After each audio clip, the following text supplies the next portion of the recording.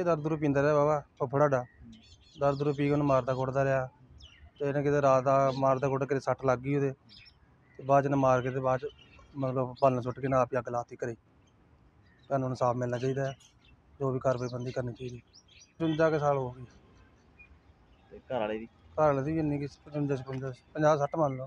ਕਿੰਨੇ ਬੱਚੇ ਨੇ? ਇੱਕ ਬੱਚਾ ਜੀ ਇੱਕ ਮੁੰਡਾ ਉਹਨਾਂ ਦਾ। ਕੀ ਕਰਦਾ?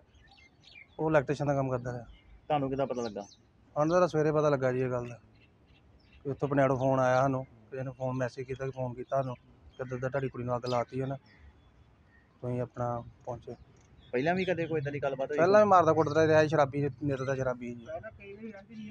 ਤੁਹਾਡੇ ਕੋਲ ਪਿੰਡ ਵੀ ਆਈ ਦੀ ਆ। ਕੀ ਮੰਗ ਕਰਦੇ ਤੁਸੀਂ? ਮੰਗ ਜੀ ਇਹਨਾਂ ਨੂੰ ਇਨਸਾਫ ਚਾਹੀਦਾ ਹੋਰ ਸਾਡੀ ਕੋਈ ਮੰਗ ਨਹੀਂ। ਇਹਨਾਂ ਨੂੰ ਇਨਸਾਫ ਮਿਲਣਾ ਚਾਹੀਦਾ ਬਸ। ਇਹ ਪਹਿਲਾਂ ਵੀ ਕਦੇ ਦੋ ਤਿੰਨ ਸਾਲ ਹੋ ਗਿਆ ਉਦੋਂ ਵੀ ਇਹ ਕੁੱਟਿਆ ਕੱਟਿਆ ਸੀ ਤੇ ਇਹ ਕੁੜੀ ਆ ਗਈ ਪਿੰਡ। ਪਿੰਡ ਰਹੀ ਆ ਕੋਈ ਸਾਲ ਸਾਡੇ ਕੋਲ ਰਹੀ ਆ। ਸਾਲ ਤੋਂ ਬਾਅਦ ਇਹ ਇਹਦੇ ਮੁੰਡੇ ਨੇ ਜ਼ਿੰਮੇਵਾਰੀ ਚੁੱਕੀ ਵੀ ਅੱਗੇ ਤੋਂ ਅਸੀਂ ਗਲਤੀ ਨਹੀਂ ਕਰਾਂਗੇ ਪਿਓ ਨੇ ਵੀ ਕਿਹਾ ਤੇ ਇਹਨੇ ਵੀ ਕਿਹਾ ਮੁੰਡੇ ਨੇ ਵੀ।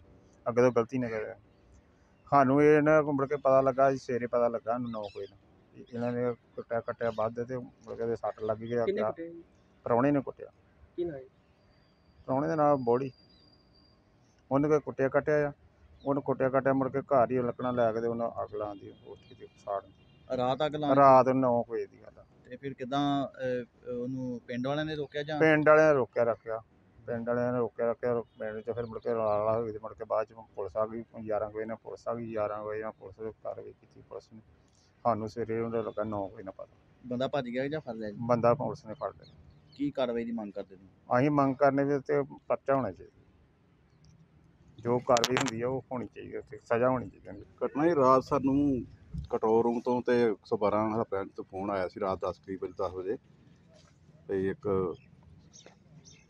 ਮਹਿੰਦਰੋ ਨਾਂ ਦੀ ਲੇਡੀਜ਼ ਹੈ ਉਹਦੇ ਘਰ ਵਾਲੇ ਨੇ ਆਪਣੇ ਘਰ ਅੰਦਰ ਹੀ ਉਹਨੂੰ ਮਾਰ ਕੇ ਉਹਦਾ ਘਰ ਦੇ ਵਿਹੜੇ ਵਿੱਚ ਹੀ ਉਹਦਾ ਸੰਸਕਾਰ ਕਰ ਰਿਹਾ।